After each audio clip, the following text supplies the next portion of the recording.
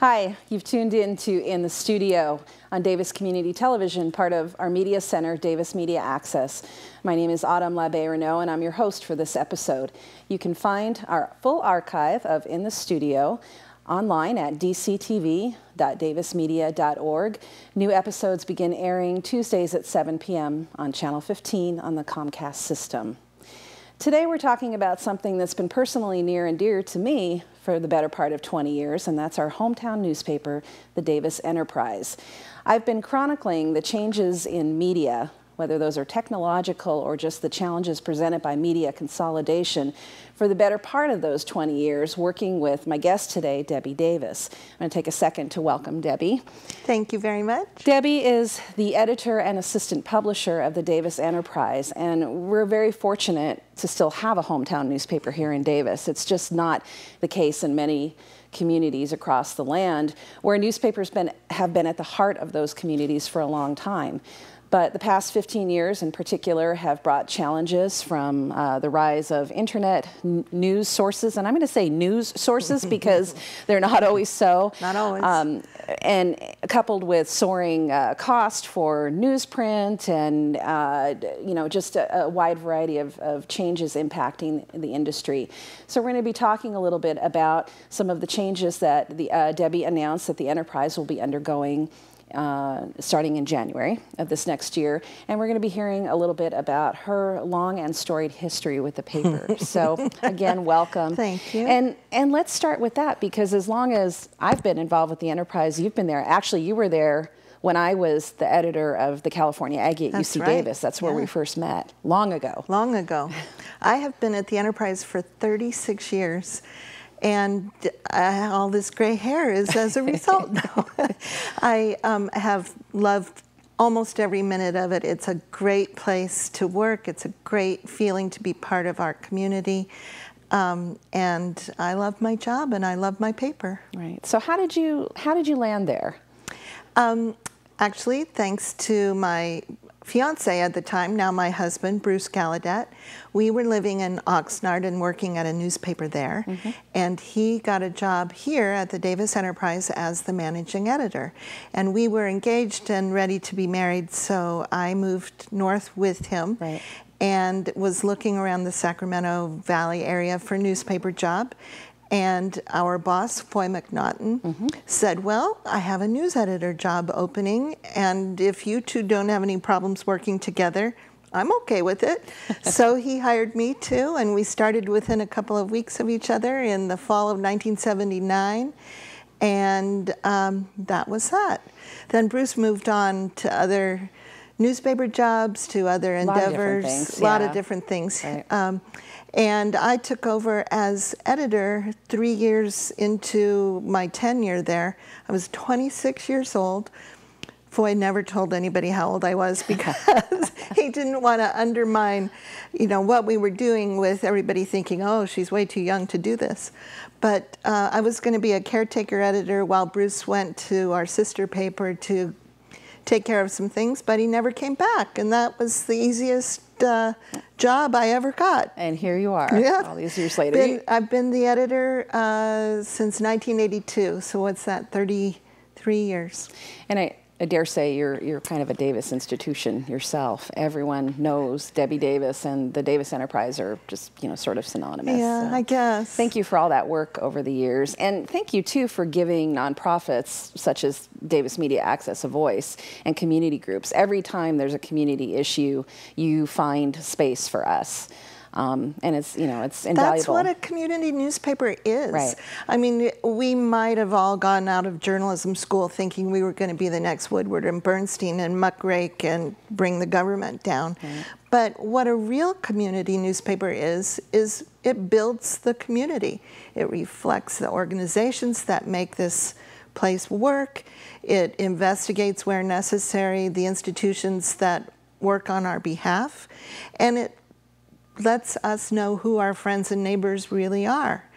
Um, and it lets us know yeah. what's happening. What's and and what's happening. Yeah. I love it when people tell me that their event was successful and that people came to buy their wares at a craft show or listen to their speaker or attend their concert or play or whatever it is. I love it when people say that it was a success because a lot of the folks who turned out said, I saw it in the enterprise. And, you know, that warms my heart. We had a, a holiday open house here um, this, earlier this week and it was incredibly packed and I met all sorts of new people coming in and they, you know, I asked a couple of them, well, I read it in the enterprise. Good. Glad so, to hear it. Yeah. Well, let's talk for a minute about the McNaughtons because you, you mentioned the McNaughton family has been really dedicated to, to keeping some of the last, you know, local they newspapers are, alive. They are one of the last families that own a sizable number of newspapers. Um, they have stuck it out, and I credit the two brothers, Foy and his brother Bert. They right. are my immediate bosses. They both live here in town. Bert lives in El Macero, Foy lives in North Davis. Their kids went to school here. They are committed to Davis, but then they have their other community newspapers as well. Right. They um, are are you know, such an important part of why we are still here. Right. If we were a bottom line corporate run newspaper, they may have, you know, whacked us long ago, or at least gutted the staff to the point where we couldn't put out a newspaper right. that we would be proud of. Right. Now, the enterprise has had to do cutbacks and revisions and retooling over the years. And about it was about a month ago you announced that there's going to be some pretty significant changes in January. So That's let's right. talk about those. So at first we were very sad, and I think the community was too. But I hope that folks will give this new look a chance mm -hmm. because after our sadness, we began to really brainstorm okay, how are we going to make this work? And it feels like the right fit for a community newspaper of our size with our type of advertising base. Mm -hmm. This is a sustainable model that will get us through this. You know, we've dropped Monday publication, we've laid staff off, we've reduced page count. We've done any number of things to try and and get out of the red right. into the black. Right. Um, the only other alternative to dropping these days of publication, Tuesday and Thursday now will no longer be print editions, mm -hmm. would have been to gut the staff, and that's just not what Foy or Bert or I or any of us wanted to do. So three days a week, Wednesdays, Fridays, and Sundays. Right. Um, I think are going to be the right fit for us. First of all, it breaks beautifully for the news flow in this town. Mm -hmm. City Council meets Tuesday night, school board meets Thursday That's night. True. Their news will be timely in the next day's paper. Sports activities often are Tuesdays, Thursdays, Saturdays. That'll break just right for us. We will continue to be fresh and relevant in print but then we also have our 24/7 online presence. All right, so let's talk about that. I know your the websites and the and uh, social media presence too have, mm -hmm. have, that that's been on the increase the last couple of years, but. Uh, the website's undergone some changes, and it's about to get a new overhaul. It's about to get what can we better. look What can we look forward to? Well, um, Taylor Bewley, our IT guy, is madly working on an iPhone app. So our website will be um, totally redesigned. It will look more like a traditional newspaper website than what we have now, okay. where you will find um, changing feature stories up at the top of the homepage, um, breaking news um, clearly visible at the top of the page, and then fresh news constantly being posted to the site. More visuals, more photos, more graphics, more ads, we hope. Right. Um, that will be the desktop um, computer website. Then, um, I don't know the terminology, forgive me, Taylor, but the, the site will collapse width-wise depending on what type of device you're using. Mm -hmm. So it will naturally show nice and wide on your desktop. On your laptop, it'll scoot in a little more. On your tablet, a little bit more. And on your phone, yeah. a nice, tall, constantly scrolling um, well, site that you can easily access that means it'll phone. be mobile ready and that's a key thing okay. these days it's a good, thing uh, it is because 55% of our readers arrive at our site through their mobile phones. Right. And this will be a much more user-friendly, um, rich experience for them. And um, I'm just happy that we're going to have something that's a lot more visually appealing and vibrant than what we have now. Right. I, I, can't imagine the changes you've seen in the industry over over the years. Um, and you have some uh, a few uh, recent, if not brand new, reporters. Right. I'm thinking about um, I think Felicia Alvarez is pretty yeah, recent. Felicia, UC Davis grad, member right. of the Cal Aggie Band-uh. Right. She covers City Hall for us now. Right. So, what does the enterprise staff look like these days? Well, interestingly, Felicia is really my only young one. Um, most of my staff has been around a good long time. I am so fortunate to have people who live here who know the community, who get tips galore because we're only as good as the folks who talk to us and tell us what's going on. Right. And um, and then of course Bob Dunning, who outranks us all.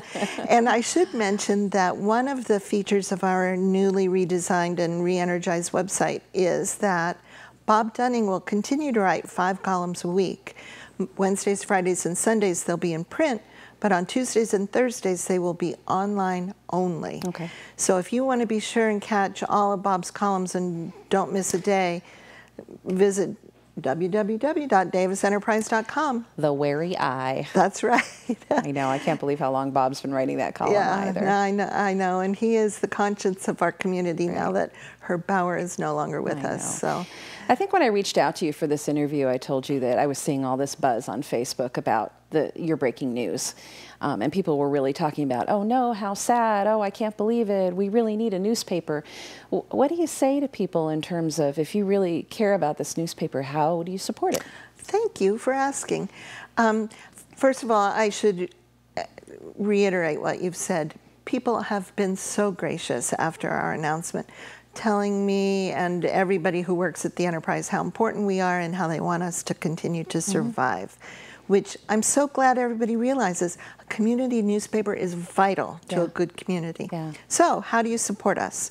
Here's my best advice subscribe. Subscribe, read us, act on what you learn in our paper, go, go to the events, you know, buy tickets to the plays and concerts and support the nonprofits and go down to City Hall and have your say about whatever is on their agenda.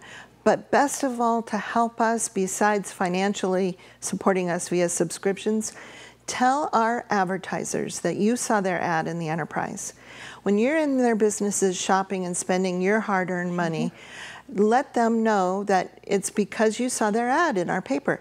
Then right. it closes the loop. When we go to sell another ad to our very valued and treasured advertisers, they'll think, okay, that's money well invested. Right. I sold those shoes or that barbecue or whatever to somebody because I advertised it yeah. in the enterprise. Yeah. Debbie, I personally can't imagine this town without a newspaper. You know, do you remember when Amy Goodman came to Davis I do. a few years ago?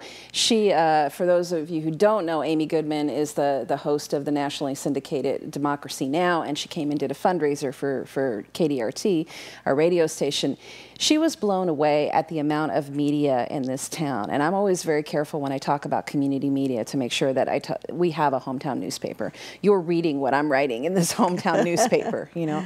But she was really blown away that. Um, that we have that, and for such a relatively small community, that we have such a strong local presence, a journalistic presence. So again, I want to I want to thank you for being at the helm of the enterprise and for doing so much to just kind of keep it going and thriving in uncertain times. And I want to wish you the best of luck. Thank you. As you move forward.